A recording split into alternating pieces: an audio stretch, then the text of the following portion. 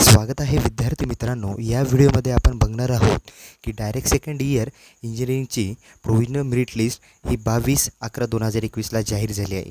ती provisional merit list आपण कशी बघायची आहे हे आपण या व्हिडिओमध्ये बघणार आहोत. तर चला तर सुरुवात करूया. सर्वप्रथम आपल्याला डी टी ई अर्थात डायरेक्टर टेक्निकल एज्युकेशन या वेबसाईटवर आल्यानंतर आपल्याला खाली स्क्रोल करायचं आहे. स्क्रोल केल्यानंतर Maharashtra state H S C candidates किंवा जर आपण all Indian H S C candidate मार्फत फॉर्म भरला असेल किंवा आपण एखाद्या याच्यात स्पेशलायझेशनमधून फॉर्म भरला असेल तर आपण तिथे पुढे click here to view P D F या फॉर्मॅटवर क्लिक करायचं आहे.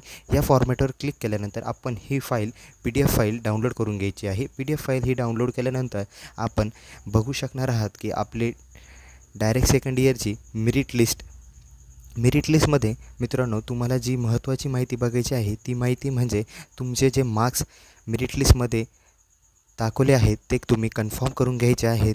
जर मित्रांनो तुम्हाला याच्यात काही सुधारणा करायची असेल तर तुम्हाला डी टी ईला डायरेक्टर ऑफ टेक्निकल एज्युकेशनला मेल करायचा आहे. अर्थात ग्रीवियन्स राईज करायचा आहे. ग्रीवियन्स राईज कसा करायचा हे आपण पुढील व्हिडिओमध्ये बघूया.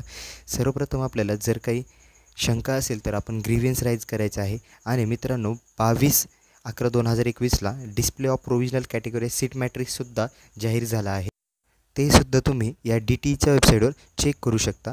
ते पण एकदम सोप्या रीतीने आहे चेक करण्यासाठी. Display of provisional category seat wise यावर तुम्हाला क्लिक करायचं आहे. नंतर तुम्ही पर्टिक्युलर कॉलेजचे काय काय डिस्प्ले ऑफ कॅटेगरी वाईज तुम्ही इंटेक काय आहेत पर्टिक्युलर कॉलेजचा हे तुम्ही चेक करू शकणार आहात.